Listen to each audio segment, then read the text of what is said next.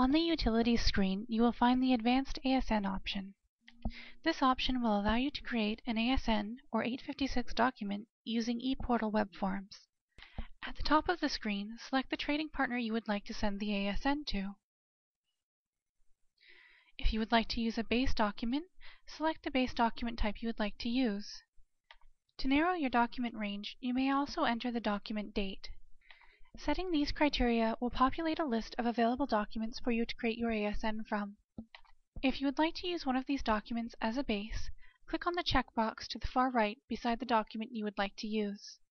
Once you have selected your base document, click the appropriate option under the Create ASN from Selected. Create ASN from Selected will have two different types of ASNs available. These types are Pick and Pack and Standard Pack. Please select the type required by your trading partner. If you require non-containerized ASNs, please select the Standard Pack option.